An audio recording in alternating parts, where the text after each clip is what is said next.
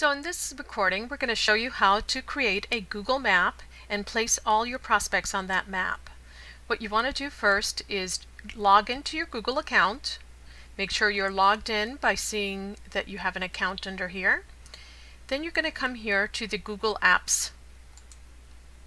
Scroll down till you find Maps. It will open up your Maps page. Then right here under menu, click on that.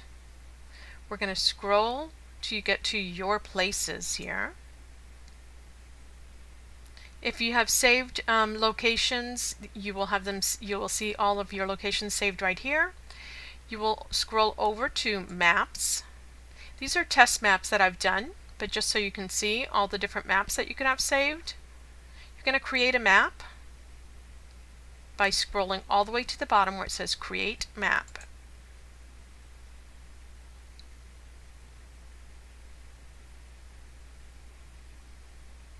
This will bring you a brand new map. You're going to select the map right here. If you hover over it, you click on it, you can edit the name of the map. Let's say we're going to call this Prospects.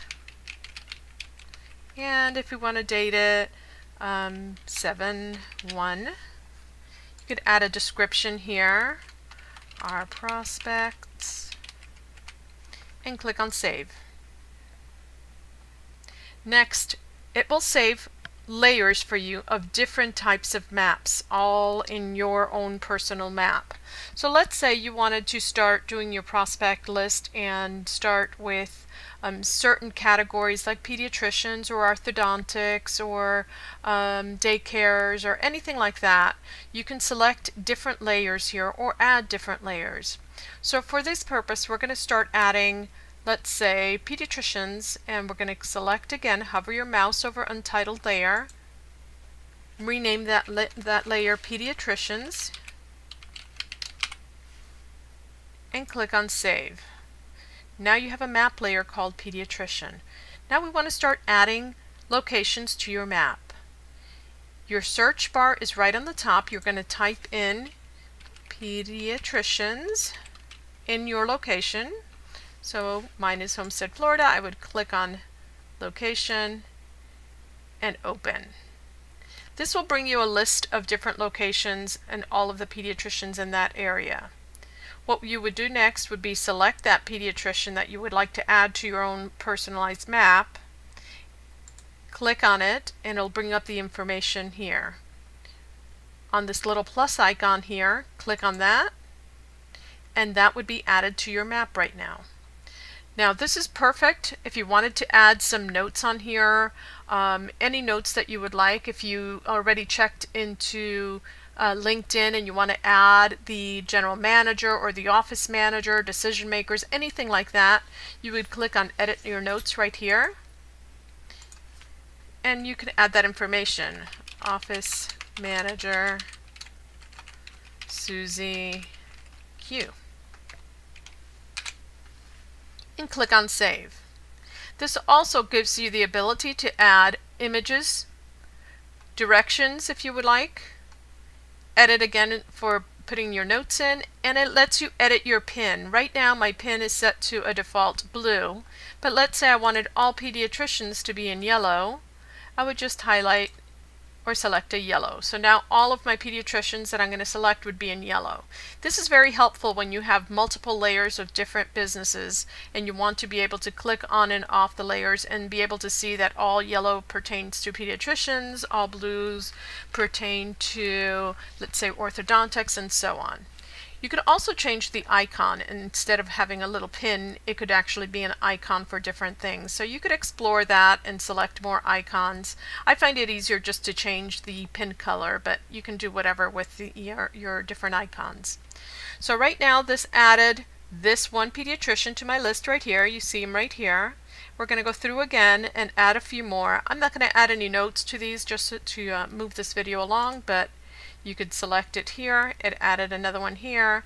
I'm going to change again my style to yellow so they could all be yellow.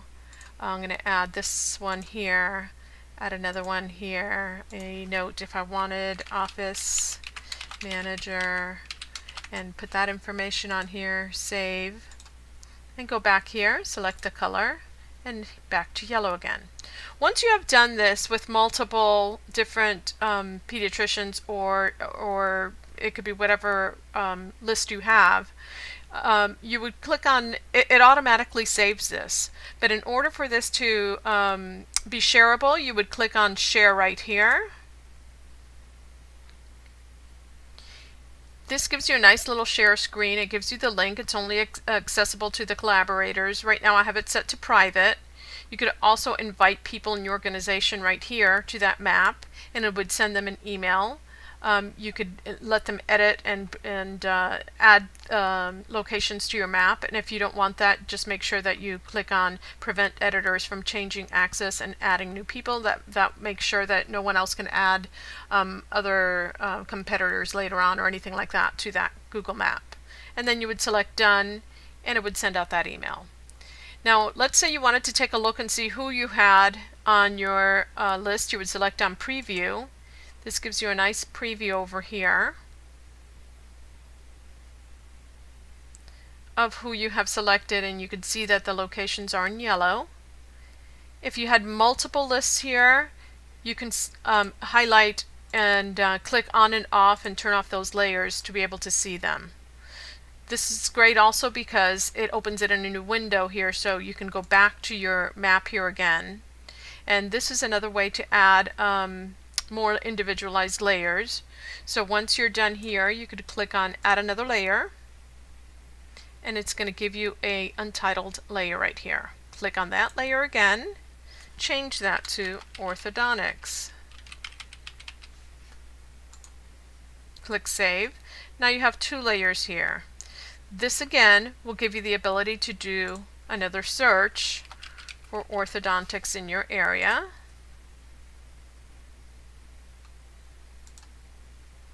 Giving you that list here again. You do the same thing. You go through, select them, add them to your map here, or add uh, or change your, your location pin to different color. Again, the style to a different color. You can do that, add your notes, all that. So now you have two. Let's say you had multiple ones and you had six of them. Well, what happens is once you see these are clicked right here, these would all show up in your preview. When you go to your preview screen, you'd be able to see all the different layers that you have.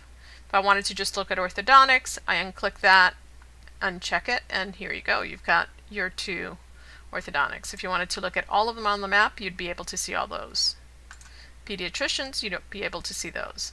So this works out great to really uh, go out and, and take a look and see who is in your local area. You could zoom in to the map, you could zoom out of the map, um, it gives you a nice uh, overview of where you're at. Um, it, it's able to also, if you wanted to um, check and see the distance from things, um, these are map uh, different tools that you have here. You can measure the distance in different areas. Um, it could let you add a marker if you already know a location. Maybe it's not just showing up on your on your Google search. So this is a great tool to be able to to have all the individualized maps on here. What's great about this is that all of this is saved to your Google Drive. So once you collect, uh, select right here on Google Drive, you're able to go back to your Google Drive and it would have the um, items that you've actually saved on here uh, within your drive.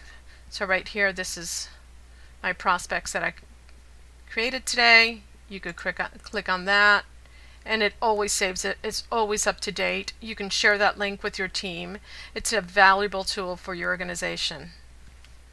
Thank you very much.